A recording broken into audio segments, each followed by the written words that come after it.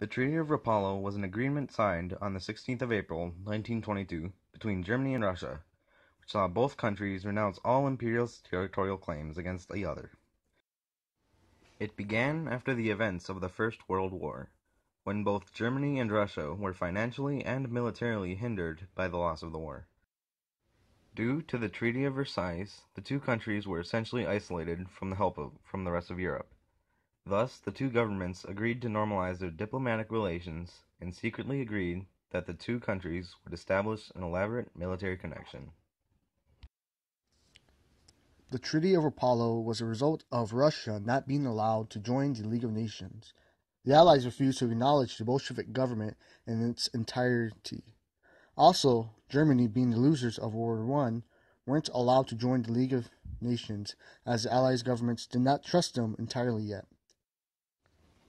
Germany owed a vast amount of reparation money due to the Treaty of Versailles. Annoyed by this and many other discrepancies, the two nations agreed to form an alliance against the League of Nations and signed the Treaty of Rapallo, thus creating a beneficial agreement that both nations immediately capitalized upon. The treaty itself was a spin-off of the Genoa Conference, which included Germany and the Soviet Union, it broke down when France demanded that the Soviets assume the pre-war debt incurred by the Russian Empire and immediate reparations by Germany to the USSR. Hearing this, the German and Russian delegates met at Rapallo and discussed a new agreement. The treaty was negotiated by Georgy Chicherin, former minister of the Russian Socialist Federative Soviet Republic, his German counterpart Walter Rathenau.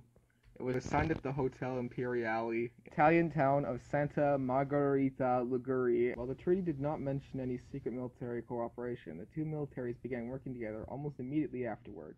Ratifications for the treaty were completed in Berlin on the 31st of January 1923, and the treaty itself would later be given an extension signed in Berlin on the 5th of November 1923. This extended the treaty to cover Germany's relations with the Soviet republics in Ukraine, Belarus, Armenia, Georgia, Azerbaijan, and the Far Eastern Republic. The agreement would later be reaffirmed as the Treaty of Berlin in 1926.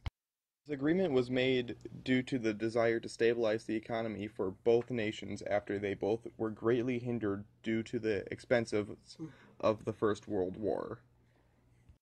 This agreement also allowed the German military to remilitarize in exchange for Germany's acknowledgement of the Bolshevik government as a legitimate government of Russia. Shortly after the signing of the treaty, Russia allowed for the German army to train on Soviet territory, but in return, Germany would have to properly train the Red Army. This cooperation allowed for experimental guns, bombs, and tanks designed by Germany to be tested and developed in the USSR. The terms of this treaty had the potential to reverse many, if not all, of the terms of the Treaty of Versailles. Because of this, any publication of the treaty would result in Great Britain and France becoming hostile and possibly even penalizing Germany for their violation of the Treaty of Versailles. Therefore, the two countries declared that they would keep any terms of the treaty classified.